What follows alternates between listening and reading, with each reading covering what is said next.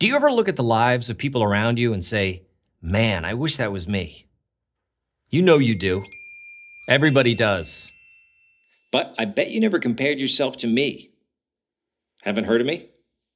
I do have my own TV show, In the Middle of the Night.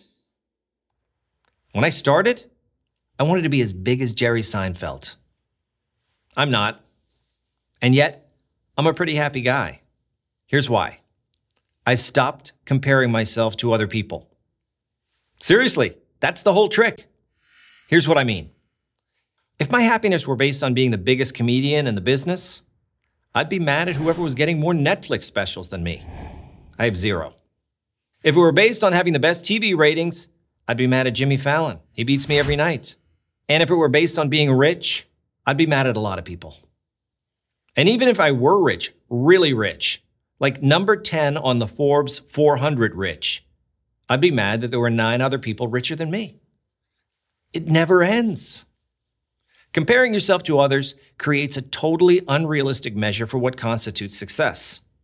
And I know, because the entertainment business is all about unrealistic expectations. All through my career, I'd meet with satisfied customers after my shows, and they'd say, Hey, you're good. Maybe someday you'll be successful like Jerry Seinfeld. He's the measure of success? The top guy? When someone tells you they're a doctor, you don't say, well, maybe someday you'll cure a disease and save millions of lives, just like Jonas Salk did for polio. Or a lawyer. Oh, wow. So what's your ultimate goal? The Supreme Court? Do you see how crazy that sounds? Professional success is about making a living, pursuing excellence, and finding meaning in what you do. When I first started doing stand up, I was a nobody. It took more than a decade playing in front of tuned out crowds before it started paying the bills. 10 years is a lot of time to tell jokes for no money to people who aren't laughing. In those days, I spent a lot of time thinking about the comedians I admired, the guys at the top. I wanted those big sold out houses I wasn't playing, the big paydays I wasn't making, the TV specials I wasn't doing. And not just their success, their talent. I'd look at comics like George Carlin, Robin Williams, and Louis C.K. They were all able to turn their dark, personal struggles into brilliant comedy. I envy their talent, but I wouldn't want the dark personal struggles that went along with it.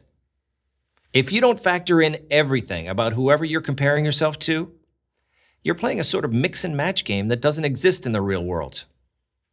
Here's one of life's little truths everyone is a package deal. You can't view one element of someone else's life in isolation. That's cheating.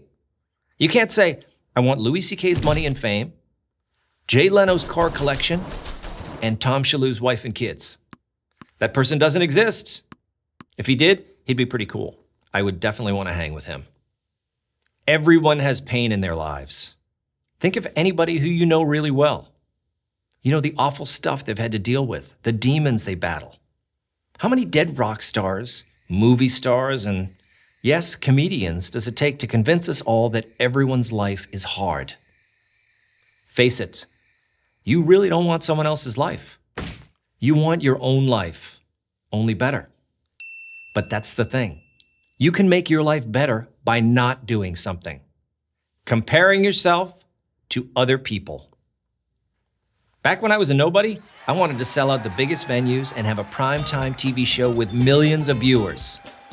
Now I sell out small venues, and I'm on in the middle of the night with half a million viewers. And I appreciate every one of them. I guess when I compare myself now to myself then, I'm doing okay. You should try it. I'm Tom Shillue for Prager University. To subscribe to our YouTube channel, click here. To help keep our videos free, donate here.